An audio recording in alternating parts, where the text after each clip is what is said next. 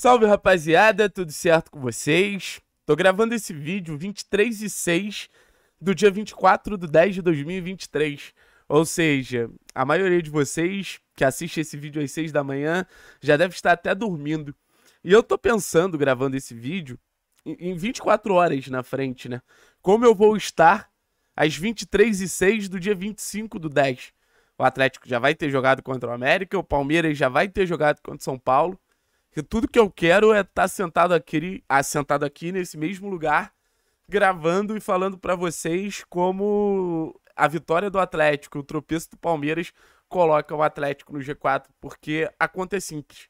Se o Atlético ele ganha do América Mineiro e se o Palmeiras, calma aí, tô fazendo as contas aqui, se o Palmeiras perde para o São Paulo, essa é combinação de resultados, porque o empate não adianta, porque o saldo do Palmeiras é muito melhor, é, a gente entra no G4 do Campeonato Brasileiro.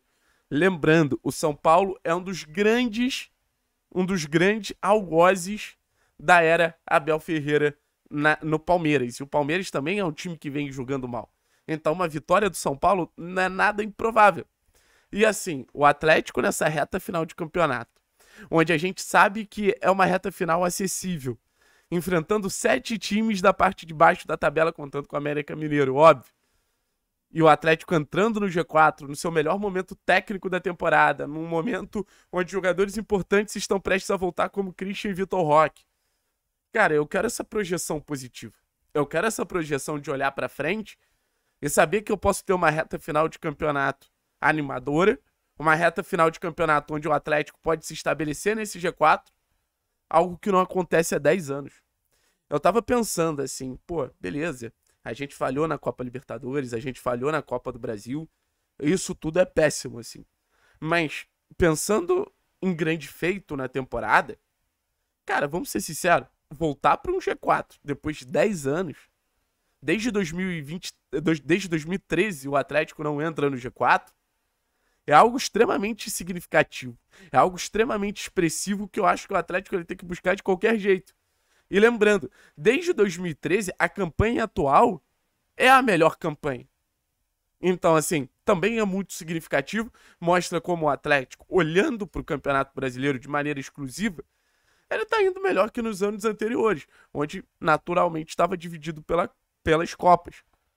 Mas se a gente consegue fazer uma grande reta final de campeonato, eu acho que 2024 já começa diferente. A gente tem uma impressão diferente desse time nesse momento final de temporada.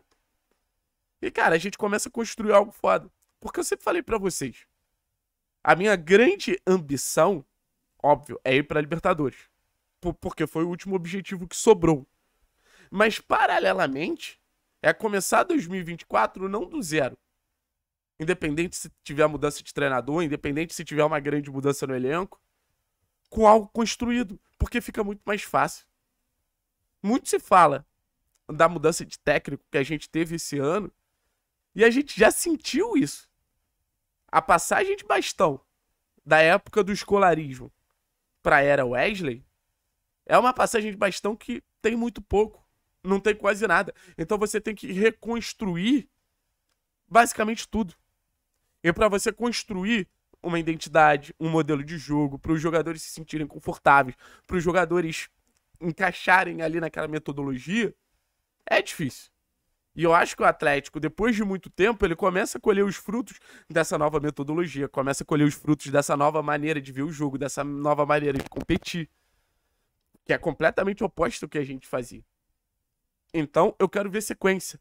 Eu quero ver sequência. E para isso, acho que a gente precisa terminar a temporada bem. E para terminar a temporada bem, acho que existe uma contagem regressiva. Para mim, são cinco vitórias. Aí depois a gente vai ver o que, que a gente consegue a mais: 63, 64, 65 pontos. Para quem sabe se estabelecer nesse G4 de vez. E terminar com a sensação de: tá bom, foi um ano onde a gente deu mole, mas também não foi todo perdido. Sabe? Campeões estaduais, Fomos, depois de muito tempo, primeiro lugar no grupo da Libertadores. Fizemos um bom campeonato brasileiro. É olhar com, com algum saldo positivo para 2023. Sabe? Mas repito, para isso ganhar do América vai ser muito importante. Eu vou trazer uma odd aqui para vocês, que eu acho que é uma odd legal, que é essa aqui. Eu acho que o Atlético marca gol no primeiro tempo contra o América, tá? Então você vai lá na KTO, se inscreve com o código 3 pontos, é o último item da, do cadastro lá. Você vai, ó, código 3 pontos está aqui na tela, o QR Code da KTO também. É, você vai ganhar 20% de bônus. Ah, não bateu de primeira? Dá uma olhada no teu e-mail, sabe? Porque a partir daí você pode brincar, você pode se divertir. E acho que é uma odd que faz muito sentido. Defesa do América, querendo ou não, é uma defesa frágil. E eu acho que o Atlético ele tende a fazer um bom primeiro tempo. Marcou no primeiro tempo contra o Grêmio, marcou no primeiro tempo contra o Bragantino, se eu não me engano, marcou no primeiro tempo contra o Botafogo. Então é um time que vem marcando constantemente no primeiro tempo. Acho que faz sentido. Marcou no primeiro tempo contra o Inter. Marcou no primeiro tempo contra o Inter? Marcou, né? Marcou. Então, assim, acho que é uma odd interessante. Beleza, pessoal? KTO, código 3 pontos. Não se esqueçam, e, obviamente, se, eu, se não for pedir demais, deixem um like se inscrevam no canal.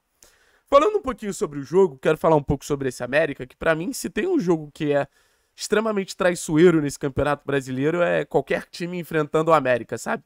Porque o América é um time chato, o América é um time competitivo, o América é um time que, é, desde que o Busto chegou, é, é, incômodo entrar na área do América, joga com três zagueiros, dois alas, dois volantes de muita marcação, dois volantes que saem rápido, como é o caso do Benítez, do Benítez não, do Martinez e do Juninho. Tem o Benítez, que é um cara que é uma referência técnica na frente, tem o Mastriani, que segura muito a bola longa, sabe fazer gol.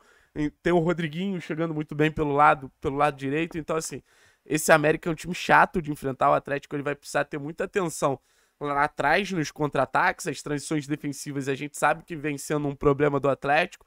E na frente vai ter que ter paciência, cara. Vai ter que rodar bola, vai ter que arriscar. Os últimos dois jogos do América eu parei para ver com mais atenção, até pensando nesse jogo do Atlético. Deu muito trabalho ao Botafogo, foi, foram duas jogadas individuais do Júnior Santos. E o Corinthians ele vai fazer o gol no, no último minuto, no último lance do jogo, basicamente. Então não achem que vai ser um jogo fácil é, é o que eu sempre falo para vocês. A, a, a, expectativa é a mãe da decepção. O Atlético ele vai precisar girar bola, o Atlético vai precisar usar esse estilo de jogo mais camaleônico que vem apresentando nas últimas rodadas e esse repertório ofensivo para ganhar o jogo. Porque o repertório ofensivo do Atlético é muito interessante. Contra o Inter, eu confesso que eu não lembro como foi o primeiro gol, nem de quem foi o primeiro gol do Atlético contra o Inter. Mas foi do Eric, né? Foi num, num lance de bola parada. É, aí foi uma infiltração de um volante o segundo gol contra o Inter, o gol de cabeça do Alex Santana. Aí contra o Bragantino, uma bola em profundidade do Pablo, numa zona central, depois de uma bolaça do Zapelli. Contra o Grêmio, mais uma jogada numa faixa central, aí o gol da vitória acontece novamente numa bola parada contra o Botafogo, uma jogada lateral de, de um ala. Então, assim, o Atlético, seja por dentro, seja por fora, seja por bola rolando, seja por bola parada, ele vem mostrando uma facilidade para chegar ao gol adversário.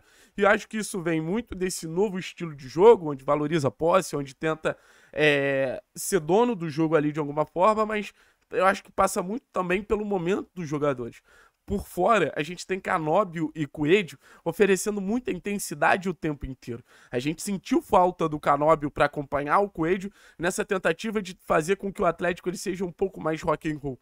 O Atlético ele é muito música clássica com Zapelli, com Bueno, com Fernandinho, e eu acho que existe um momento de, de ser música clássica, para você dar um ritmo ao, ao jogo, para você não deixar ser uma correria desenfreada e não entrar numa posição de sensibilidade nesse cenário mas também é importante você acelerar, acelerar, acelerar, principalmente no momento que você busca fazer o gol.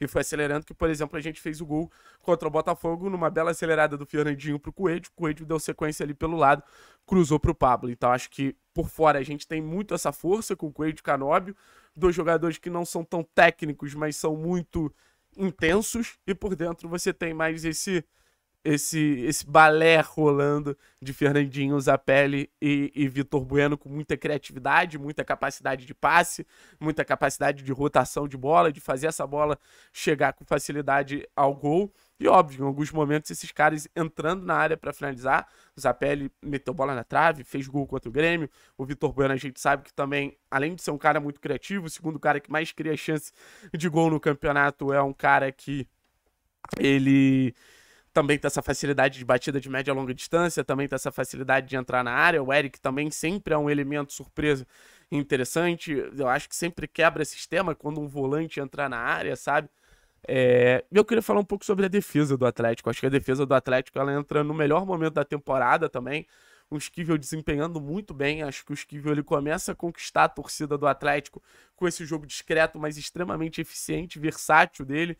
Acho que ele transforma o esquema do Atlético no esquema mais híbrido. Jogamos com três zagueiros, mas em muitos momentos o Esquivel é esse ajudante do Canóbio pelo lado esquerdo para sempre gerar um apoio para o Canóbio. O Canóbio é muito intenso, então às vezes ele precisa dar dois passinhos para trás, tocar a bola para trás para voltar a construir. Kaká, desde que chegou, impecável. O Thiago Heleno também crescendo de desempenho. Até o Bento no último jogo foi bem. Então, não tomar gol do América também eu acho que é, que é fundamental. E para terminar, falar sobre esse cenário de desconfiança, né? A torcida do Atlético, ela tá, assim, feliz com os últimos resultados, mas ela também tá tentando entender esse time ele vai decolar de vez, esse time não vai decepcionar contra um time pequeno é, ou contra um time pior que o nosso, ou vai ser mais uma vez que a gente vai bem contra os melhores times do campeonato e chega contra os piores times da competição, a gente deixa a desejar. Esse estigma de Robin Hood do Atlético no Campeonato Brasileiro, ele não é legal. Ele não é legal. O Atlético ele precisa pontuar contra os times que são piores que ele também e pontua, mas já deixou muito ponto para trás, inclusive contra o próprio América no turno. Então, atenção. Atenção é muito importante. E, óbvio, continuar pontuando contra os concorrentes diretos é, é, é fundamental, sabe? Acho que é isso, rapaziada. Lá por volta de 4 e meia a gente tá entrando na live do jogo. Até lá, muito conteúdo. Tamo junto, é nóis. Forte abraço. Muito obrigado pela moral de sempre. Valeu!